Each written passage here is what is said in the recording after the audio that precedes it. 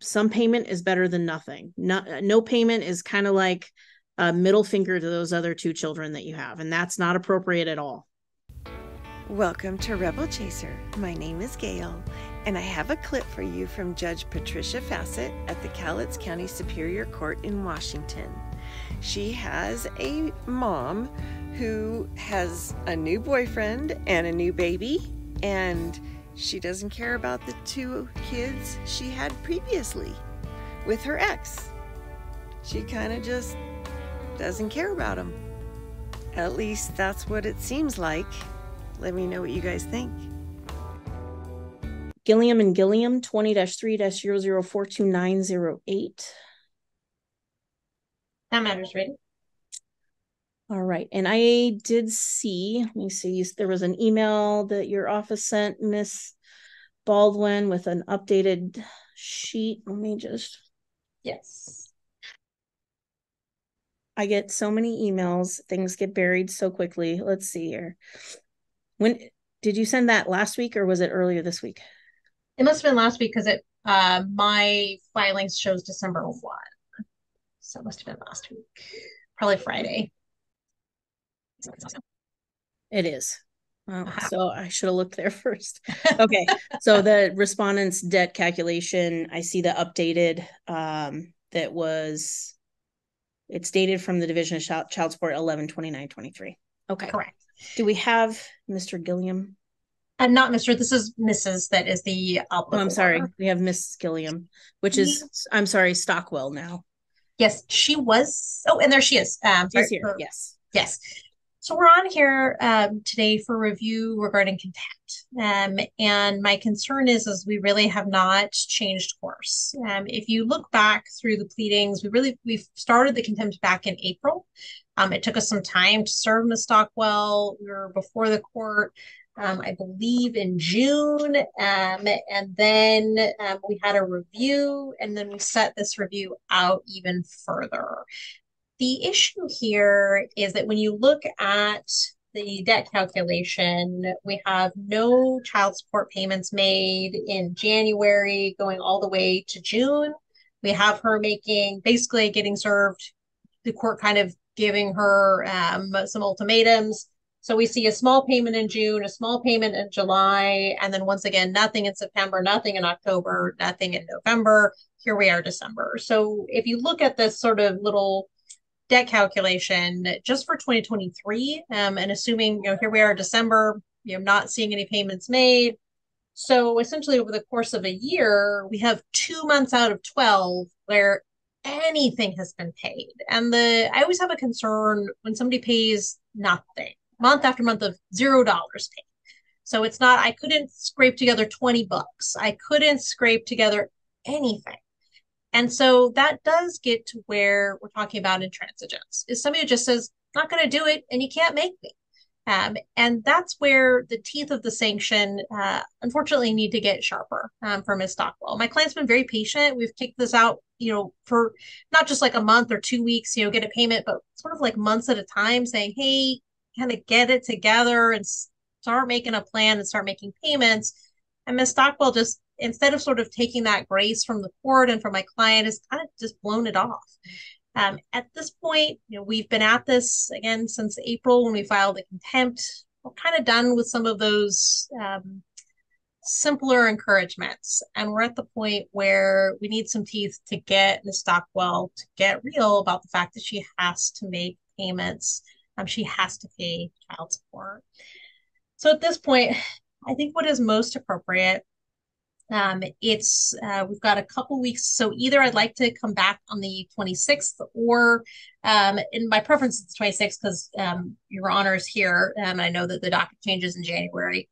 But essentially, I'd like to see some real payment this month, um, and if she doesn't, that she shows up on the 26th in person, ready to spend some time in jail until she writes a plan on how she's going to pay um, because so far none of this has gotten through to her and it's been an extended period of time where these children who are entitled to support aren't receiving it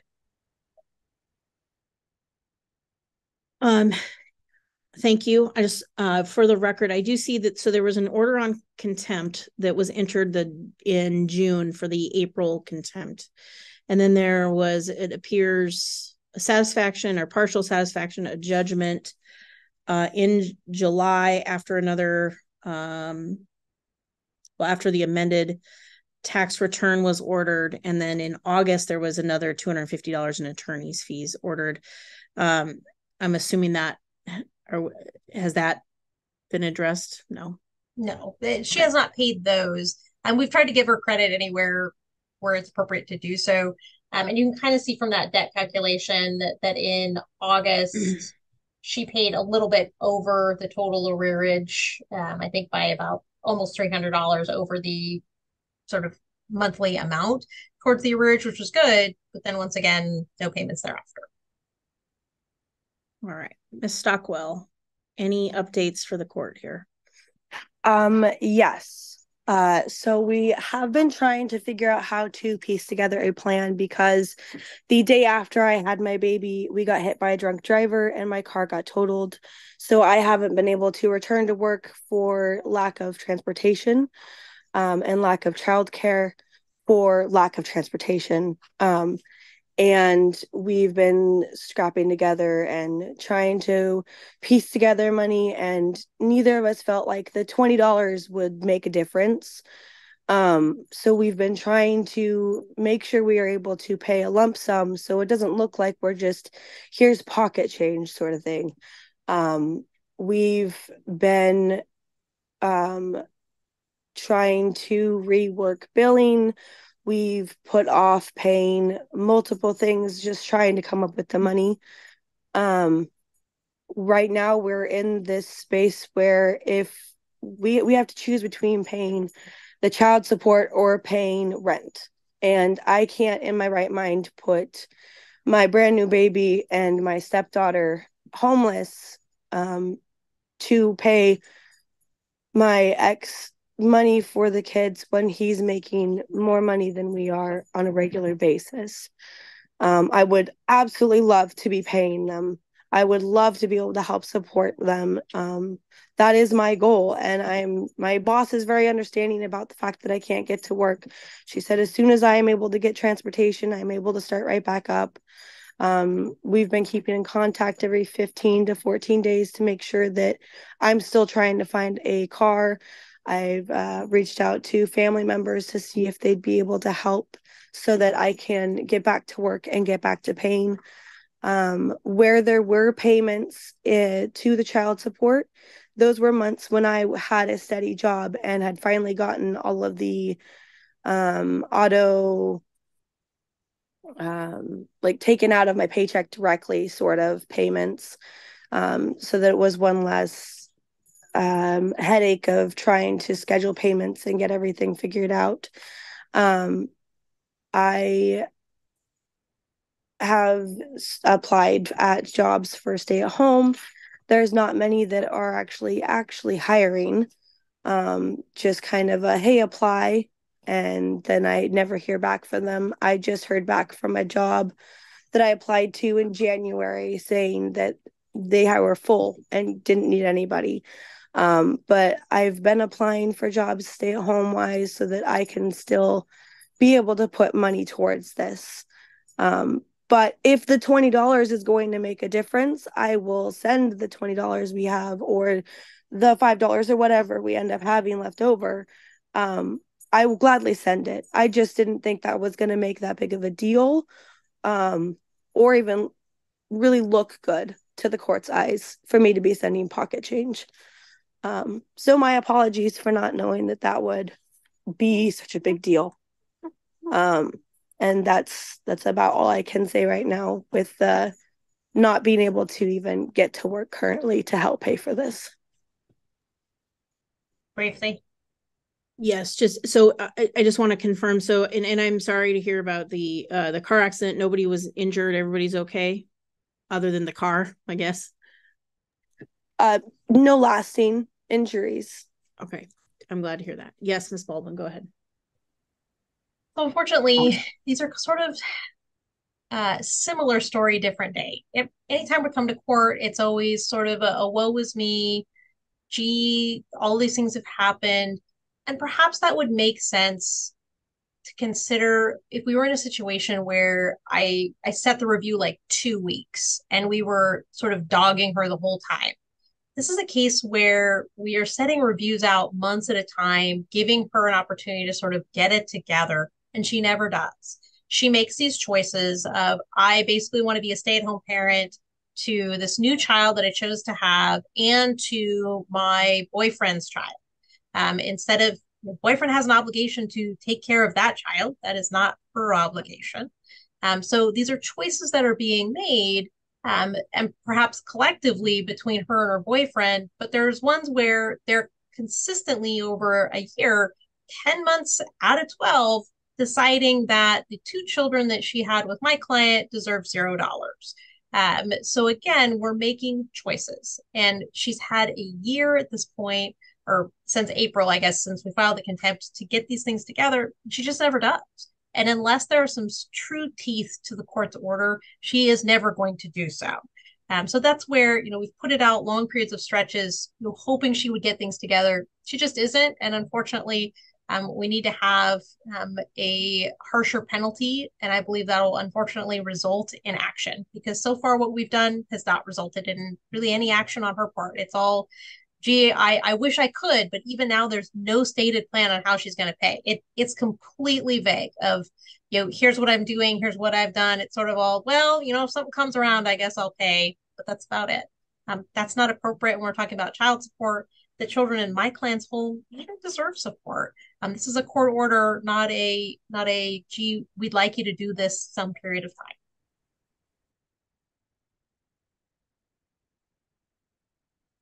So um, I understand the frustration. And I understand uh, Ms. Stockwell's uh, circumstances. Uh, we unfortunately, it's it's unfortunate. The court often sees uh, folks have kids and uh, without the forethought about how they're going to support those kids. Um, it's and in this case, it's um, I, I understand uh, the frustration here. There was an order of child support entered in January uh, that changed the support, the temporary support, and in the most recent uh, debt calculation, it appears that, uh, as Ms. Baldwin stated, there was a payment made in July of ninety dollars and August of seven hundred and eighty dollars.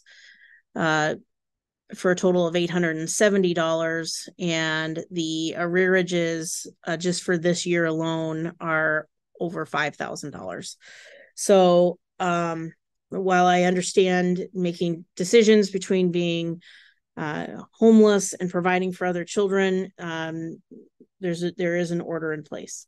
So here's what I, I will set a review for december 26th at 1 p.m I would ask that Ms. Stockwell be present in person on the 26th at 1 p.m. However, Ms. Stockwell has until December 15th at noon, so that's next Friday at noon, to provide a plan to Ms. Baldwin's office regarding payment of uh, child support. Uh, as you know now, Ms. Stockwell, some payment is better than nothing. No, no payment is kind of like a middle finger to those other two children that you have, and that's not appropriate at all. Uh, I appreciate you saying, well, we, we want to give uh, bigger chunks. Doesn't matter. Uh, frankly, the court would see a $25 a month, $50 a month payment as much better uh, for everyone than zero, zero, zero, zero, zero, zero. Um, if the plan that's provided to Miss Baldwin's office is acceptable to, to Miss Baldwin and her client, that date on the 26th can be struck. And if you want to renote it for another review, by all means, we can do that. If uh, it is not acceptable by Miss Baldwin, and so I am putting the ball in Miss Baldwin and her client's court for this. If if that plan is not acceptable, then I expect Miss Stockwell to be in person uh, for court on December 26th, 2023 at 1 o'clock p.m. on the second floor of the Hall of Justice.